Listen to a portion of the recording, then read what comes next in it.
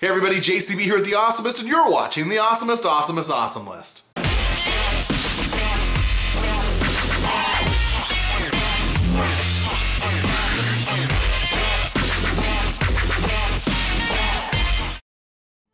So it's been about two weeks since the season 6 finale of The Walking Dead, and if you saw the episode, you're well aware that it's one of the most controversial cliffhangers in television history. It has enraged large portions of the internet, and I cannot wait to discuss it with you right now. Jeffrey Dean Morgan made his first appearance as Negan, and in a mere 10 minutes of screen time, completely stole the title of fan favorite away from Daryl.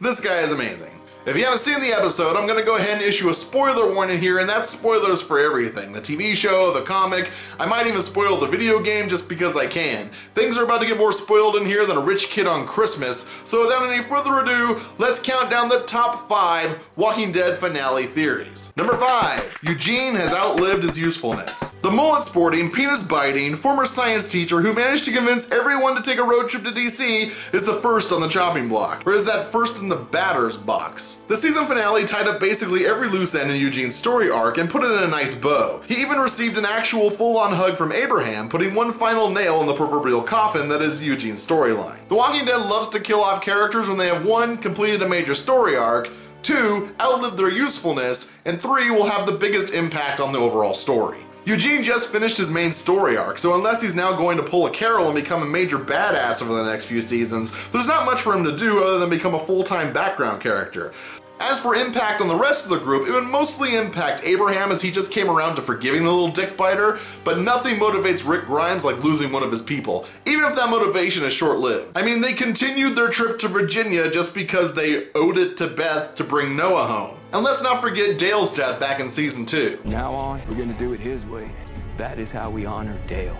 Yeah, about that. So the last thing Eugene did before getting captured was give Rick the ingredients for making his own ammo. This is the perfect setup as now Rick will not only have a motivation for killing Negan, but he'll have plenty of ammo to help him do so. As Eugene said in one of the episodes, a full clip of ammo is a new currency in this world. And seeing as Alexandria isn't really mass producing food right now, bullets may be the bargaining chip they need to keep Negan happy while they prepare for war. In the comics, Eugene's brains and know-how do come in handy for a few more things, but the ammo was the really big one. So he's completed his story arc, outlived his usefulness, and his death would move the story forward quite a bit for Rick and the gang. There is also a fan theory that if you ignore the clever editing and just follow along with Negan's eeny meeny miny mo in different ways, it stops on Eugene, but other people also say it stops on Daryl or Glenn, and some people even say it could be Michonne because she's the only one who doesn't get a second reaction shot, meaning the point of view must be from her. But I'm not sure I buy any of the theories that are based entirely on the editing of the episode. Considering all of these singles could have been shot as B-roll pickup footage intended to be used in any random order, you can't read too much into it.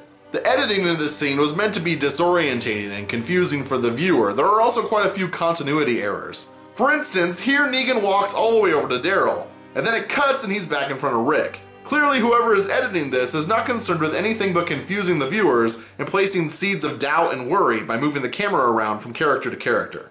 So unless you think Negan's playing the weirdest game of Eeny Meeny Miny Mo in history, running all the way from Daryl who's on his far left over to Sasha who's in the center instantly, pointing his bat at random people like a crazy person, I think you can dismiss that idea. Number four, Abraham can take it like a champ. So almost everything that made Eugene eligible for the bat can also be applied to Abraham. Only these two know where the group can mass produce bullets, unless the address is also written on that paper he gave to Rick. Abraham as a character has turned a corner recently, which on The Walking Dead is never a good sign. He's been pretty suicidal since the beginning with the hope of DC keeping him alive through season 5 or so and that all fell apart. In season 6 he kind of came out of that funk and even started a little something with Sasha, another suicidal character who has come around thanks in part to her connection with Abraham. The two were even talking about pouring the Bisquick in the last episode. And nothing hurts more than a character getting killed at the peak of their hopefulness. So we have the conclusion of a character arc and an impact on the rest of the group, but I don't think Abraham would ever really outlive his usefulness. He's an ex-military man who can literally beat the crap out of anyone. That doesn't really stop being useful. Though there is one thing that is going against Abraham, and that's his comic book expiration date. In the comics, it was Abraham who took an arrow to the eye, and it kind of feels like they switched that death up for the sole purpose of making Abraham's death more meaningful later. And then there is the camera movement at the end of the episode, which is really the center of this fan theory. After getting hit by Lucille, whoever is on the receiving end of that bat collapses to the ground and then gets back up, to which Negan replies, taking it like a champ champ, and realistically, Abraham is probably the only character who could take a strike like that and get back up for another swing. Pun intended. Pun very intended. Though I think this movement could also be construed as simply looking up toward Negan, not necessarily getting back up. Personally, I think you can dismiss an entire line as it was ripped directly from the comics, and in the comics it was applied to a different character. So I don't think that line, taking it like a champ, really applies to any specific person. It would have been said no matter who the show decided to kill. Also, I think the camera movement was done for dramatic effect, and that it's not really pointing to anything specific. Number three, we can deduce who died based on what we know. This one isn't so much a theory about a specific person dying, so much as it is a theory that we can weed out potential candidates based on the things we know. For instance, immediately after the episode aired, people claimed you could eliminate all of the female characters because of this line.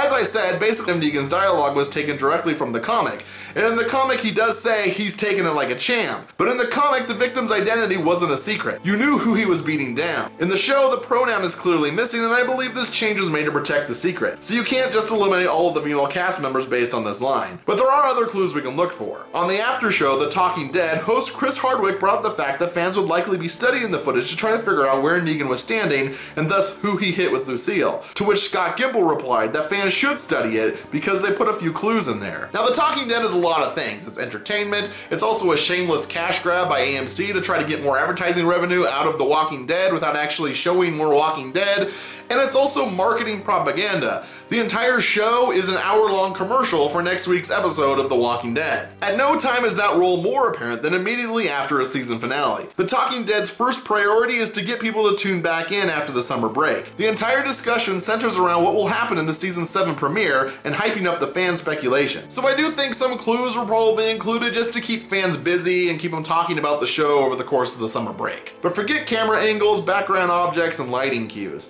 The final bit was shot from the victim's point of view, which means the cameraman could have been sitting anywhere and pointed in any direction. A DP on set would have been more concerned with lighting and blocking than continuity with the lineup. Hell, they could have even filmed that final shot on a soundstage weeks later. Instead, we have to look for clues that were intentionally put there and eliminate people we know are safe. First, let's get the obvious out of the way. It won't be Rick. This is really Rick's story. We've been with Rick every step of the way. When he was shot and went into a coma, he missed the beginning of the zombie apocalypse, and because we're following Rick's story, we also missed the beginning of the zombie apocalypse. If Rick ever dies on the show, it will be the last episode. I think we can also dismiss Carl as a potential victim because as Negan is warming up for his big swing, he says, if anybody moves, anybody says anything, cut the boy's other eye out and feed it to his father. Then we'll start. This is clearly a threat to keep Rick or Carl from trying anything or moving and allow Negan to do his thing. If either one of them were right in front of him, he could take care of it himself. Also referring to Rick and Carl as the boy and his father in this way strongly implies that neither Rick nor Carl are in the strike zone. Otherwise, Negan would likely have said something along the lines of cut his eye out and feed it to his father if it were Carl in front of him,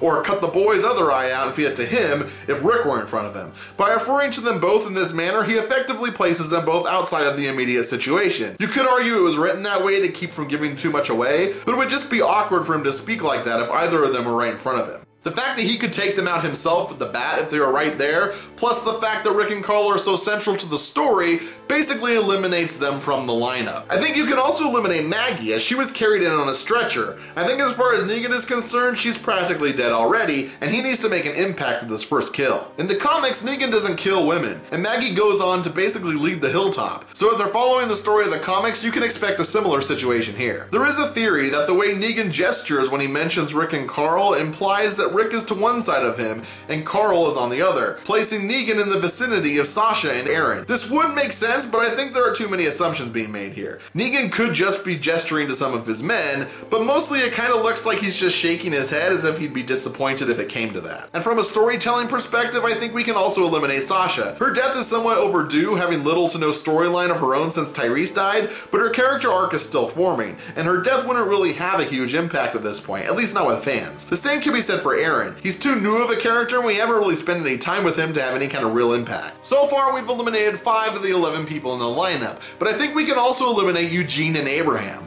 Why? Well, because I think Negan would see the value of keeping Abraham around. He's a big, strong military guy who can follow orders, protect assets. Remember, they work for him now. Plus, Abraham basically volunteered when he sat up, and Negan doesn't strike me as the kind of guy who wants to do anybody a favor. And then there's also the point of view theory. The bat swing was not the only point of view shot this episode. There were actually a lot of them. Obviously, we had the point of views leading up to the final shot, two of which had different angles, and we were treated to several point of view shots from inside the back of the van throughout the episode. To me, this narrows down the list to the four people who were in the van. Artistically speaking, it makes sense to keep things consistent, and until that final scene, the only point of view shots we had seen were from inside the van. Which would mean each of these point of view shots are either from a different person who was in the van, or they're all from the same person who was in the van. It doesn't make sense for us to suddenly see a point of view shot from someone like Eugene. This means it was either Michonne, Daryl, Glenn, or Rosita. Now I think we could probably eliminate Rosita from this as well because I don't think it would have a big enough impact with the fans. And it really doesn't have that much impact on the story either. I mean,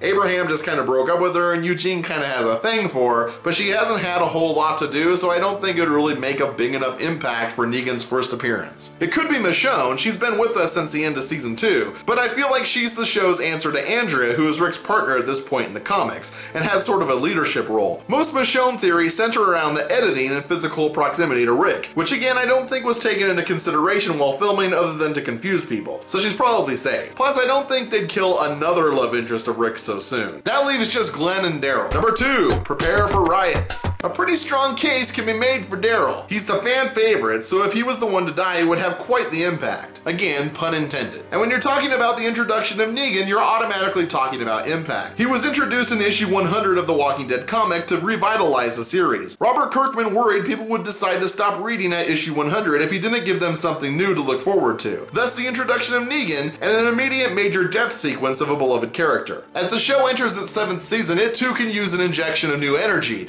thus the introduction of Negan and the major death of a beloved character. Fan impact is going to be a major component of who they chose. And Norman Reedus has also been given his own show on AMC in which he travels across the country riding motorcycles. But the official word is that the new show doesn't interfere with his Walking Dead schedule. Daryl also does not exist at all in the comics and has in many cases been the catalyst for diverging from the source material. But seeing as the show is probably going to follow the comics pretty closely in some of these savior storylines, it would make sense to kill off the character whose very existence differentiates the show from the comic. Daryl has also killed more of Negan's men than anyone else in Rick's group with the possible exception of Carol. If Negan's aware of this, he's going to want to make an example of Daryl. Plus, Daryl really hasn't done much in the last few seasons. The most interesting thing he did in all of season 6 was run into Dwight and kill a bunch of saviors. They even shoehorned in some Denise crap just to keep him busy. This is someone he'd only had passing conversations with, and yet whose death he now somehow feels he needs to avenge. So what evidence goes against it being Daryl? Well, there are three major factors that point to Daryl being safe. First, we have to consider the possibility that the point of view shots in this episode are all from the same person, and that the different angles are a result of Negan's placement in relation to the character, and not the character's placement in the lineup. For instance, here Negan could be standing slightly toward the right of the victim, and slightly to the left here. Same victim, different blocking. In this point of view from inside the van, we can clearly see someone with short brown hair is sitting in the left front position. And when they open the van, Daryl appears right there in that spot. If all the point of views are from the same person, Daryl can't be looking at the back of his own head. Second, Norman Reedus was a guest on the season finale of The Talking Dead, and whoever it turns out to have died in the season 7 premiere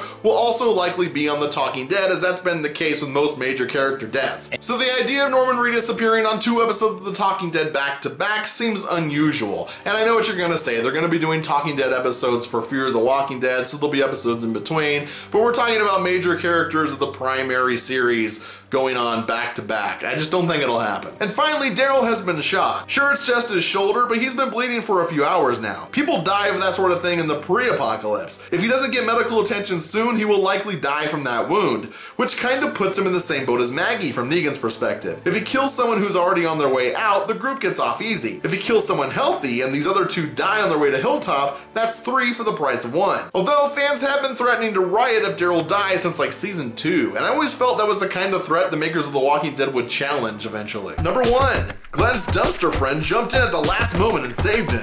Let me set the scene. Negan gives his speech. He settled on Glenn. He raises Lucille above his head, and then that dumpster that saved Glenn's life a few episodes ago jumps in front, taking the hit. And then everyone is sad about the death of that dumpster the bravest character on the whole show. Seriously though, I think it's Glenn who died. He fits the profile perfectly, and I mean that both literally and figuratively. Let me get the literal out of the way first. Basically, there is leaked footage online from the set of the season 6 finale. I can't show you it here because AMC has been aggressively taking it down, so here is a single screenshot which we will be discussing. A single blurry frame accompanied by a discussion of the leaked footage definitely falls under fair use. So if AMC takes down this video, it's a safe bet they're trying to hide what I'm about to point out. This footage was filmed on a cell phone which was pointed at a monitor which was showing a live feed of the actual scene taking place on set. A lot of people dismissed the leaked footage because it just showed them filming the point of view shot. There was nothing to see but Jeffrey Dean Morgan being badass. But if you look right where his bat strikes, there appears to be the profile of a prosthetic head mounted above the camera for JDM to strike. If I change it to black and white, the image gets a little easier to see as the color distortions become less obvious. Here is Negan, and I personally think that this looks like a prosthetic of Glenn's head, similar to the one they used for Hershel's head in season 4. Curious, I decided to superimpose an image of Glenn's actual head over the top of it, and it lines up pretty damn well. Even his sideburns are spot on. Then you have the fact that this scene played out almost exactly the same way it does in the comics,